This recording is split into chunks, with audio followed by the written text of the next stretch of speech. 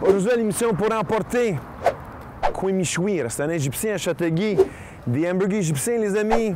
Patin en ligne avec mon ami No. On a faim, on a faim, on a faim. Pour emporter.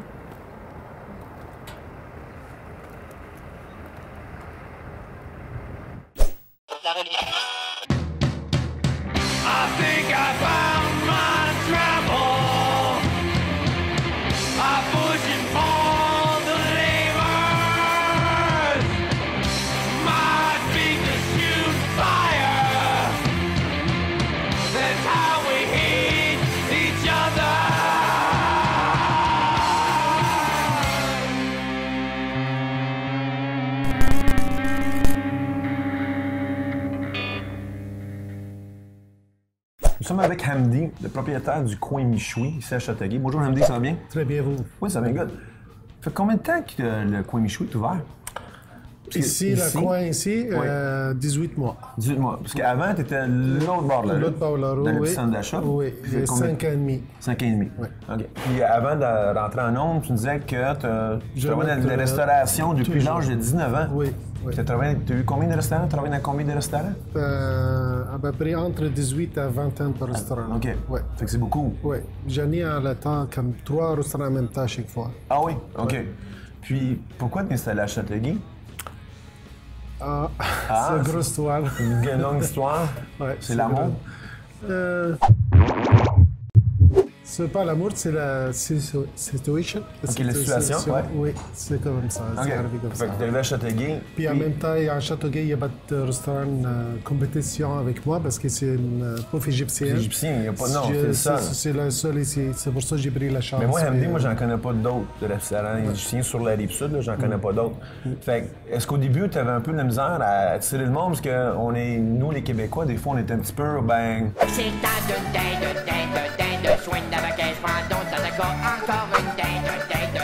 pas habitué, c'est du changement, beaucoup de misère. Oui, beaucoup de misère. OK. Il m'a pris à peu près un an et demi, deux pour euh, commencer à travailler. travailler. OK. Il était dur le premier un an et demi, oui. Parce que moi, c'est ma soeur qui était venue au ton Oui. restaurant en premier, puis elle m'a dit, va essayer ça, c'est très, très bon. Puis j'y étais.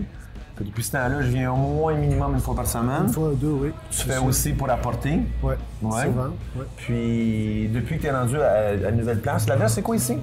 La c'est L'adresse? 77 euh, P. San Jean-Baptiste. Saint-Jean-Baptiste. Puis ça va bien? Parce que je sais que les, les fins de semaine, c'est rempli. Là. Oui, oui, apporter oui. votre vin. Oui, c'est avec la réservation. Ouais, OK. Puis aussi, tu as des, des brunchs. Ça, là aussi, Oui, le en parler. Là. dimanche, le déjeuner égyptien. Déjeuner égyptien. Oui, à peu près comme euh, une petite buffet.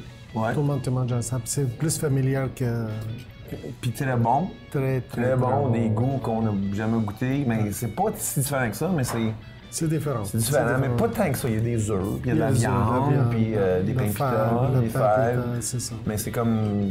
Ouais, moi, je suis vendu, moi. Les patates à l'ail, oui, qu'on a mangé, les patates atomiques.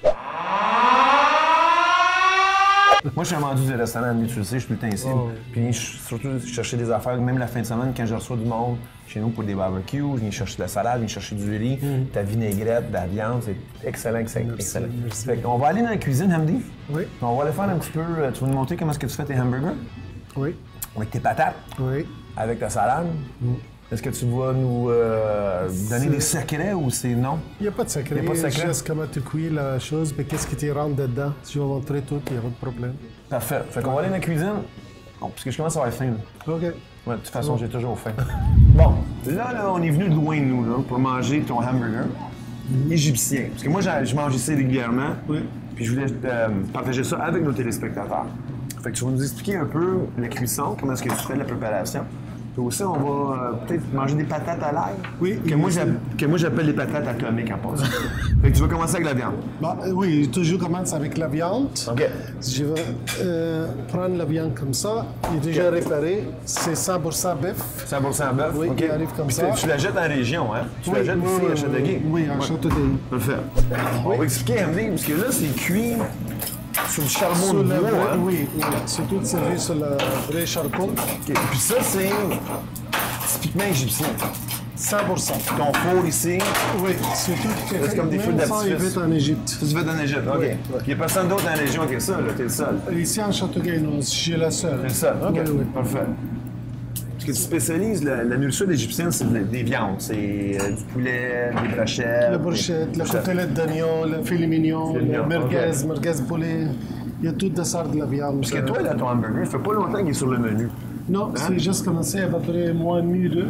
OK. Puis c'est-tu ta recette à toi, ta recette Tout- de ta mère, tout, ton oui, grand-père, ta grand-mère, de famille? Moi, je- quand je mange ça en Égypte, Ouais. j'aime beaucoup. OK. J'ai demandé à la personne comment il fait ça, mais il donnait la recette.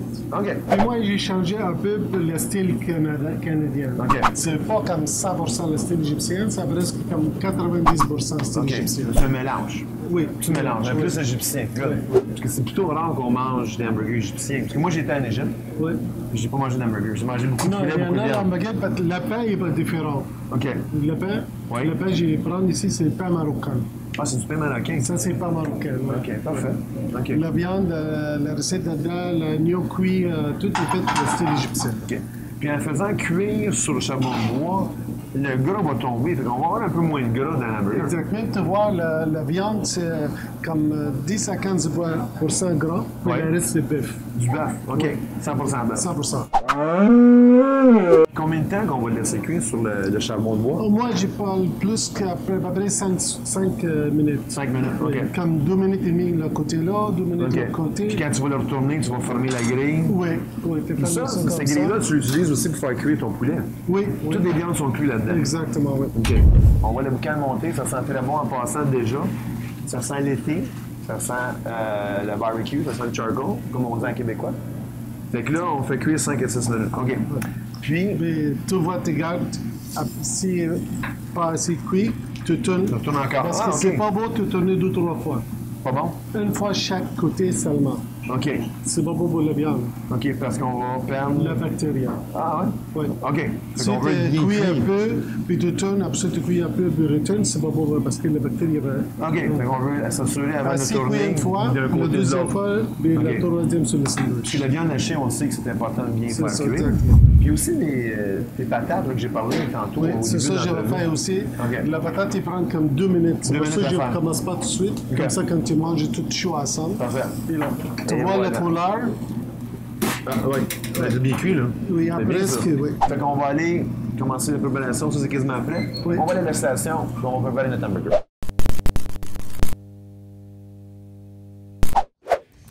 Hey, salut Philippe. ça va? Ça va bien toi? Bon. Euh, je remarque que tu réussis à maintenir ta, Ma forme? ta forme physique. Ben oui, mais écoute, j'essaie de profiter des bons restaurants de Châteauguay, à manger mes hamburgers, mes patates frites, mais je veux aussi garder la forme parce qu'on a vu que seulement qu'une fois, n'est-ce pas? Oui. Fait qu'aujourd'hui, on a quoi comme exercice? Aujourd'hui, je vais te faire faire des jumping jacks avec des push-ups. Ça existe encore, ça? Ça existe Je encore. pensais que c'était comme euh, très 2012. Euh, ça existe. Non, non. Ça existe, bonne réponse, Philippe. merci.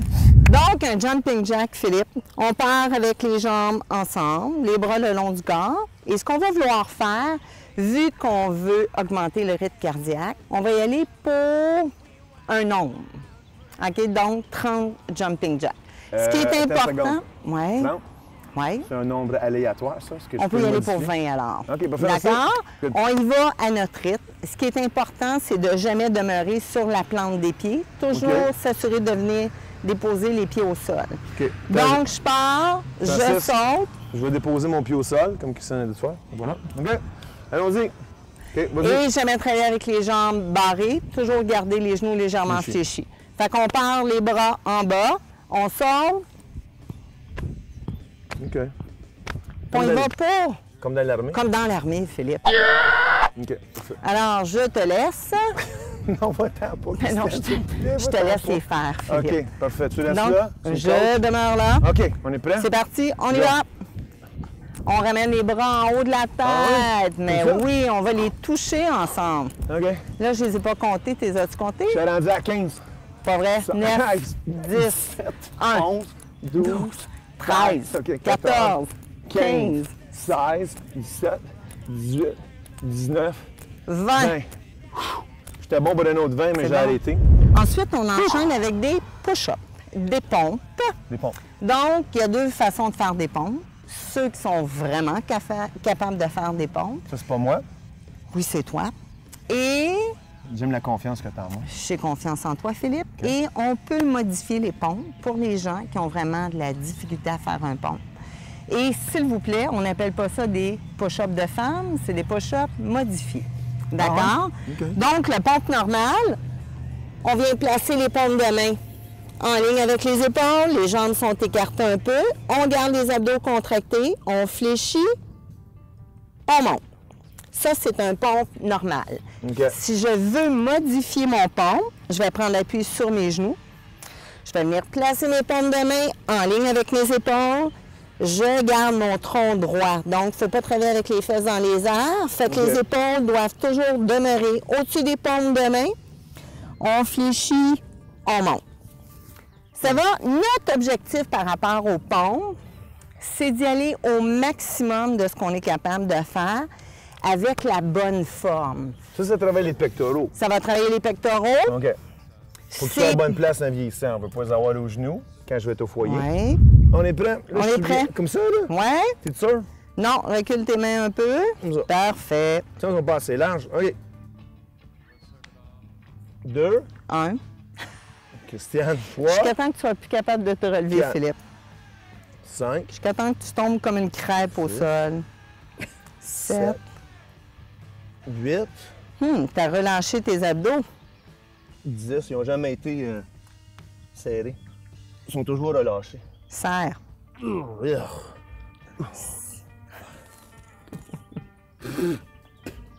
Bon.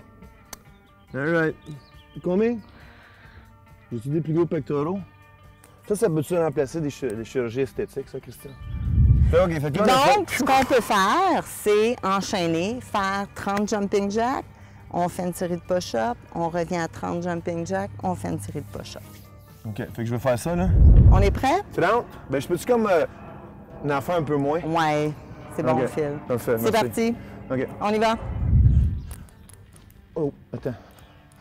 OK, comme ça? Ouais. Mais si je fais comme ça? Oh. Petite modification, ouais, comme dans tes cours d'aérobie. Push up. OK. Un. Oh, OK. Brûlé, Christian. Fini. Ben, merci beaucoup, Christian. De rien, Phil? Je me sens euh, beau. J'ai faim. T'as faim? Parfait. Alors, bon lunch. À la semaine prochaine. À la semaine Si Dieu prochaine. le veut, on fait quoi? La semaine prochaine? D'autres exercices, j'imagine? On fait on- des exercices différents. Oui. J'ai encore du gâteau dans la bouche. Merci, Christian. De rien, À Phil. la semaine prochaine. À la prochaine.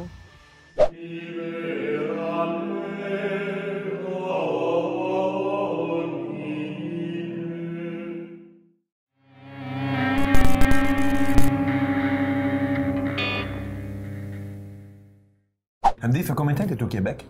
J'ai venu au Québec la fin la- l'année 75. Oh, ça fait longtemps. Ouais. Fait que tu as passé plus de temps euh, ici. Trois quarts de ma vie. Ici, OK. Puis, t'es né dans quelle région de l'Égypte? Un quart. Au Caire, OK. Ouais, le Caire. J'étais au Caire, beaucoup de monde, 18 millions de population. Ben, Beaucoup, mais- beaucoup, Sur le beaucoup. Caire, à peu près 24 millions. 24 millions maintenant, OK. Beaucoup de c'est monde. ça, J'ai été au beaucoup. Caire, il y a beaucoup de monde, beaucoup de trafic. C'est ça, oui. Beaucoup.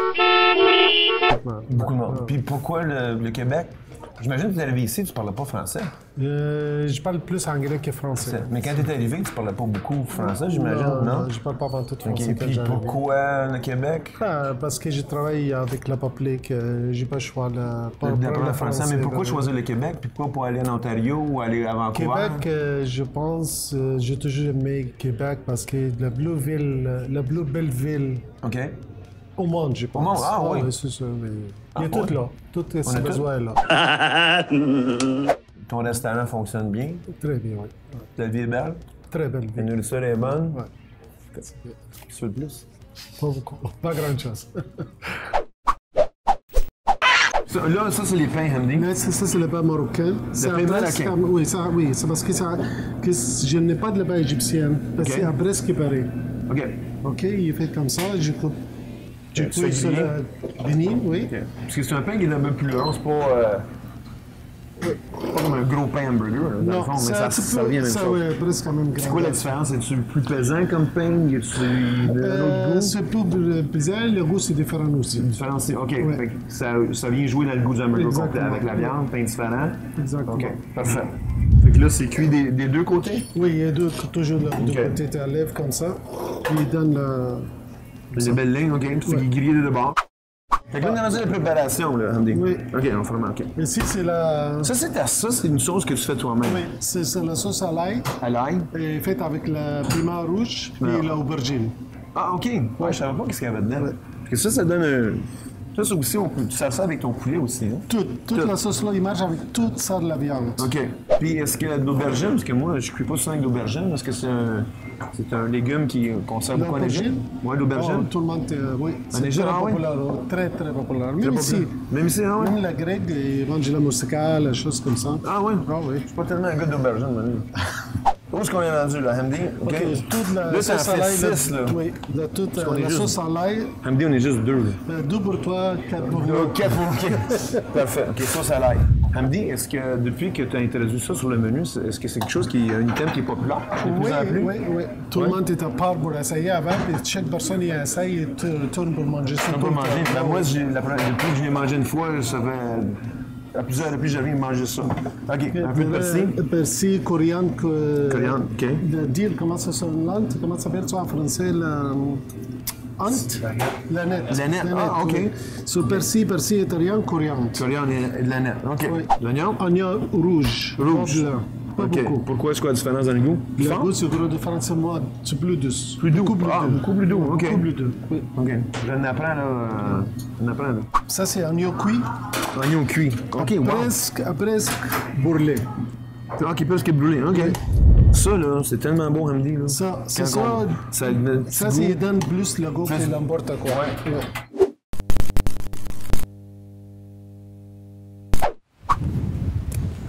Salut, Joël, ça va? Salut, ça va toi? Les amis, Joël Lémon, nutritionniste, connu à travers la Montérégie. Bon, on parle de... On a des légumes aujourd'hui. Des légumes, j'ai amené des légumes. C'est pas dans le contexte du fast-food, Ouais. C'est quoi le contexte? mais le céleri de légumes qu'on retrouve au fast-food, c'est Ah, le la salade de La chou. salade de chou. Exactement. Faut bien mettre en valeur nos légumes du Québec. Salade de chou, le chou, excellent légume. Ah oui? C'est bien parce qu'on va au fast-food qu'on trouve le- à peu près le meilleur légume qu'on peut trouver. C'est les choux. C'est le chou. OK. énorme quantité de vitamines, de minéraux à l'intérieur. Ceux qui sont fervents du docteur Béliveau sauront que le chou est reconnu comme étant un des plus grands, euh, un des plus grands aliments pour lutter contre le cancer. Ah oui? Donc, il contient énormément, énormément de nutriments. On lui attribue aussi euh, la possibilité de réduire la, la maladie, d'incidence de la maladie d'Alzheimer. Ah oui, je savais pas ça. vraiment, Mais je sais que ça enlève l'enflume, c'est quand ma mère avait eu les oreillons. Ma grand-mère était venue à la maison, puis elle avait mis des Les feuilles de oreillons. chou. Puis ça, avait, ça enlève, ça avait Ça aidé à avait enlever l'enflume. Il y a des raisons hein, derrière les médecines de nos, les traditions de nos grands-mères, de nos grands-pères. Fait qu'à part de manger au fast-food, on peut mettre ses joues. Merci. Le chou qui provient de l'Asie. C'est un légume qui provient Vas-y. qui a été introduit en Europe par les Celtes. Il se retrouve aujourd'hui dans la majorité, beaucoup de plats traditionnels européens. Les fameuses feuilles de chou farcies polonaises. Euh, on a la soupe chou et bacon des Irlandais qui est populaire. La fameuse patate frite au chou des Anglais. Euh, je pense aussi à Les cigares la au chou. choucroute. Le choucroute. La choucroute, le cigare au chou polonais, la choucroute en allemand. Bref, le chou qui est internationalement réputé comme étant un légume de choix. Le chou fait partie de la famille des brassicas, donc la famille des crucifères, même famille que le brocoli, le chou-fleur, le chou de Bruxelles, euh, le chou frisé, le chou plat, le chou rond, le chou carré. Du chou plat, Il existe environ Ah oui? 400 variétés de choux à travers le monde. OK. Ça, c'est frisé? Ça, c'est frisé. Connais-tu cet aliment-là? Non. C'est un des aliments qui a fait le plus jaser l'année passée, je te dirais. C'est le chou kale. Euh, le Ah, chou kale a été reconnu comme étant l'aliment qui contenait le plus de nutriments par volume. Si tu veux manger un magasin de pilules, prends une croquée de chou kale. C'est à mettre au menu là, quotidiennement. On l'utilise dans les soupes. Oui. Nos papiers revolent. Nos papiers Ah ouais, On l'utilise dans les soupes, on l'utilise dans les, euh, dans les recettes, les casseroles, ces choses-là. L'utilisation la, plus populaire du chou, c'est drôle parce qu'on parle de fast-food. C'est tu sais quoi? Mhm. Non. Du chou kale. On fait des chips avec ça. Ah oui, je l'ai mangé, ouais. Excellent Ouais, c'était bon. accompagnement de bon. hamburger. Très trendy si vous faites un barbecue à la maison. Très facile à faire aussi. aussi. OK. Ce qu'on fait, c'est qu'on prend la forme. le- tu peux remarquer que le chou, c'est pas stagé. Non, OK. Tu veux dû le lâcher pour toi, pour être galant, mais je le suis pas. OK. est fait sur une feuille très longue. Ouais. Hein?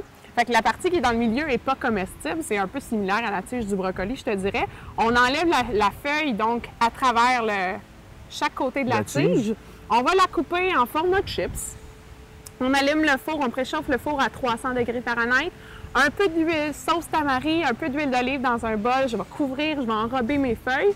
J'étends ça sur la plaque, 8 à 12 minutes maximum dans le four. Euh, quand ils sont croustillantes, quand on remarque qu'ils sont croustillantes, on les retire parce que s'ils noircissent, ça devient bon. amer, c'est pas très bon. Est-ce qu'on peut mettre du sel dessus? Ah, ben, la sauce tamari qui est très salée à la base. Est-ce qu'on peut ajouter du sel Non, Phil, quand on a la sauce tamari, c'est suffisant. J'aime le couleur de ça, moi. Oui, c'est beau. Des légumes, choisissez-les le plus coloré possible. Plus il y a de couleurs, plus il y a de nutriments à l'intérieur. On recommande, savais-tu manger un légume vert, un légume orange par jour? Non. Légumes orange. Un légume orange, carotte, Carotte. patate douce, Ouais. poivron. Dans la famille des oranges, mais aussi les rouges, tomates Ah, euh, et ah compagnie. je savais pas. OK, cool. Mais c'est bon, ça. Fait que là, on mange du gazon. On se fait des chips de kale pour l'été. OK, ben- On accompagne les hamburgers maison. Sont encore meilleurs que ceux qu'on fait Ah, au restaurant. Je sais que tu essaies de me vendre sur euh, manger plus santé, là. Je sais que c'est bon, j'aime ça, j'aime ça, la salade de choux. En terminant, je peux te Ouais. saluer un ami? Oui. Je salue les gens de chez la patate Grégoire parce que moi, quand je vais au casse-croûte, je demande un accompagnement salade de choux. Ça fait un repas plus équilibré au lieu de la patate frite. Monsieur Grégoire qui met toujours une frite sur ma salade de choux. Merci, Monsieur Grégoire, pour la frite. Monsieur Grégoire, si je vais chez vous, moi, je veux juste des patates frites. Merci beaucoup, Joël. On se revoit la semaine prochaine avec euh, d'autres choses.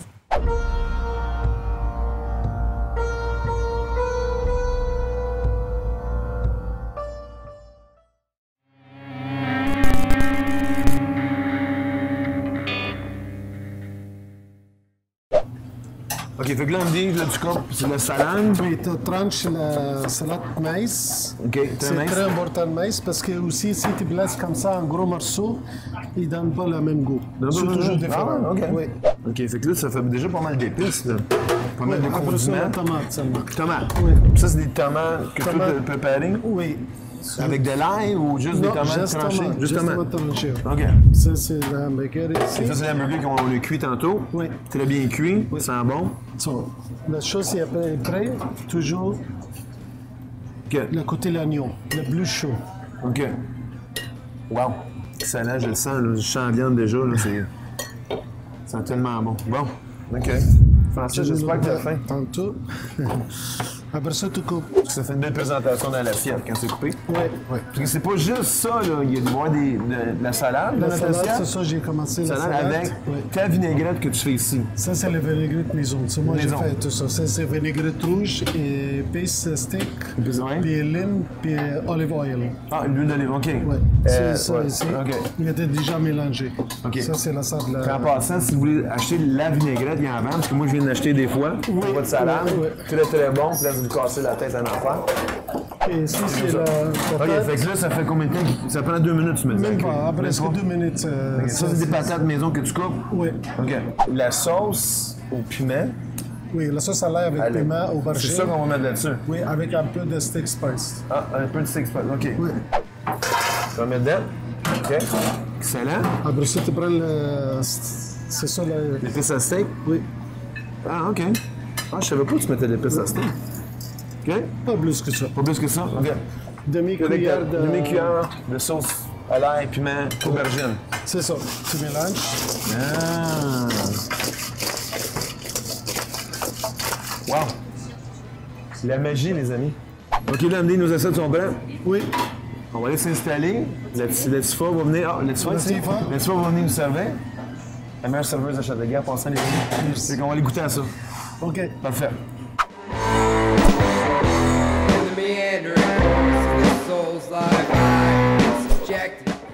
Merci, Latifa.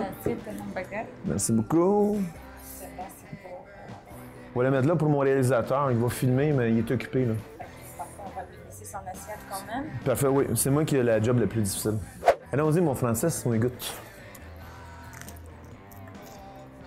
Hum. On goûte tous les ingrédients. Quand c'est frais, là, on goûte tout. C'est frais, c'est fait avec amour. C'est très, très bon. Là, on va goûter aux patates. Que moi, j'appelle les patates atomiques, mais c'est des patates à l'ail ici sur le menu. avec la sauce encore, sauce aux aubergines, piment et ail. Hum. Ça là, mes patates préférées au monde entier, les amis. Puis ça aussi avec ses brunchs le dimanche. Un brunch égyptien, jamais ça vous tente, mais venez essayer l'hamburger. Pour clôturer le tout, on va manger un peu santé quand même. Mais c'est déjà toute santé, ça. Mais un peu plus santé, puisque c'est- du vin dans mon assiette. C'est sa salade avec des vinaigrettes maison. Salade fraîche.